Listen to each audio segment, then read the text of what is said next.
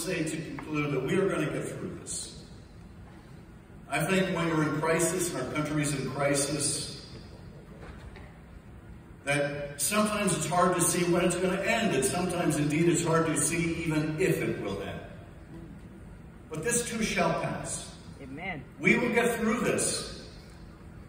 We are a, a, great country with wonderful, beautiful, generous, patriotic people in every state of the union. This too shall pass.